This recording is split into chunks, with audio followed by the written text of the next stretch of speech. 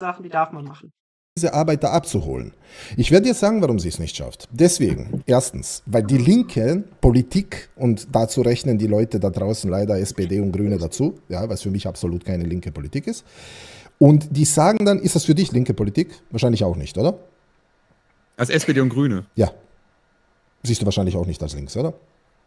Ja, so Mitte links halt, ne? Moderat links. Okay, ich, ich sehe sie eher als rechts. Mitte rechts, kein Problem. Äh, der Punkt okay, ist. Ein bisschen übertrieben, aber okay.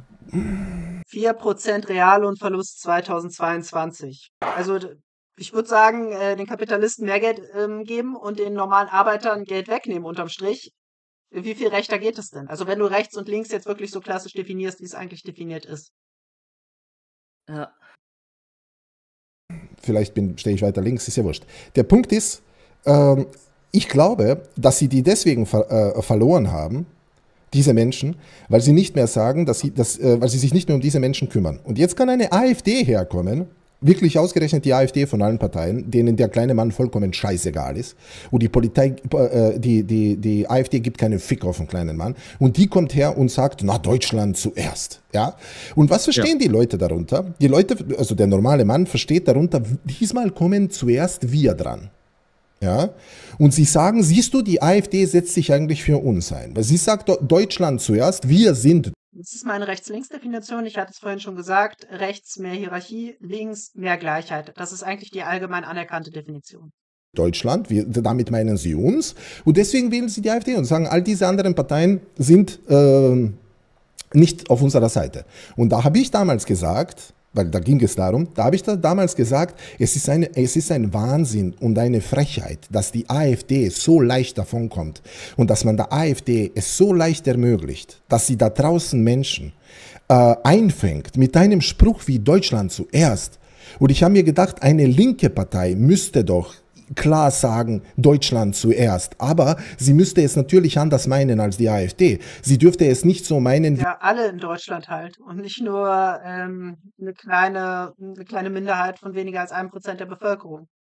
Also so müsste es eine linke Partei da meinen wie wir scheißen auf alle draußen. Äh, Deutschland zuerst gilt nur für die arischen Deutschen oder irgendwas, ja, so, ja. sondern es geht um die gesamte Bevölkerung, um alle Arbeiter, um alle, alle, mhm. alle, alle, komplette Inklusion.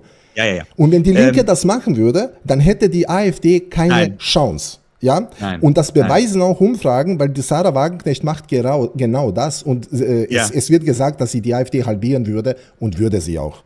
Und ich glaube, das ist einfach wirklich ein, ein guter Hinweis, darauf muss man ähm, schauen. Also, dass sie irgendwie eine eigene Partei gründet oder so. Also erstmal, dass sie ja die AfD halbieren würde, heißt ja einfach nur, dass sie super, von super vielen AfD-Wählern unterstützt wird. Aber garantiert nicht wegen der linken Politik. Weil die Frage ist ja, warum, ja.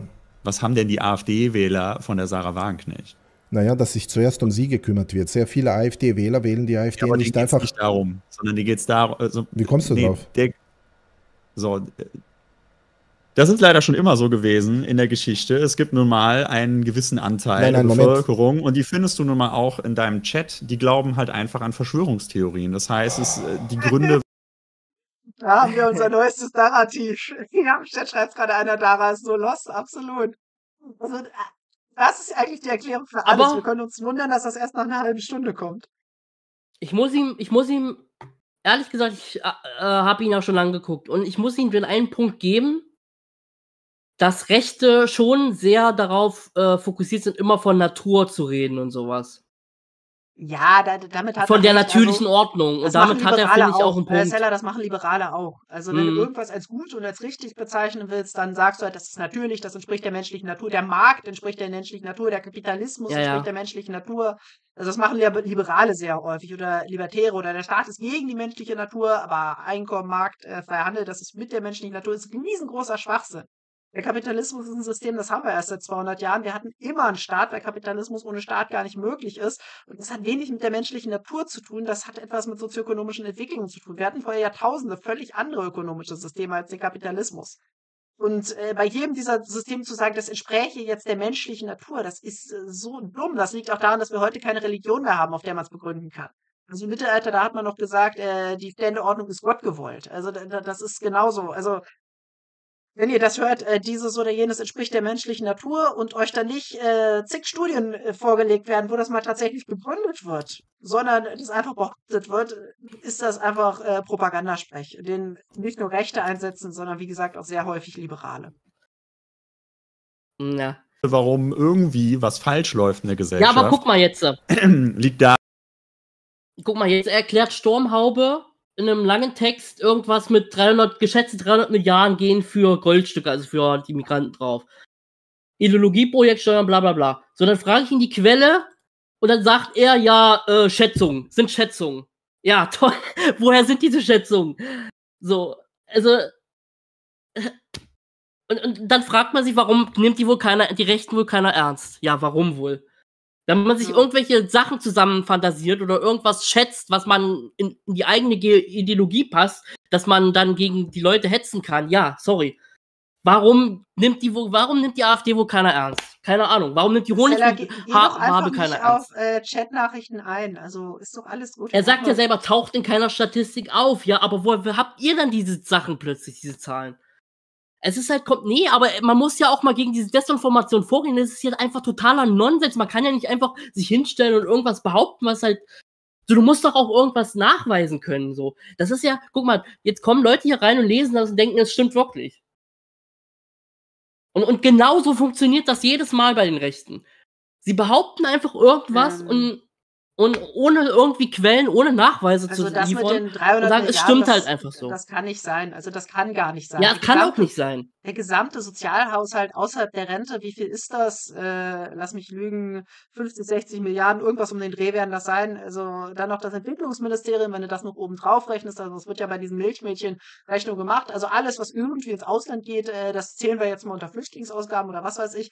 Also du kommst äh, dann immer noch auf weniger als 100 Milliarden. Also selbst wenn du, also also, wie gesagt, nur jetzt, wenn du äh, ähm, Budget des Arbeitsministeriums außer, außer Rente, also da gibt es ja so einen Rentenzuschuss, und Budget des Entwicklungsministeriums zusammennimmst, dann kommst du auf viel, viel weniger. Also, ja.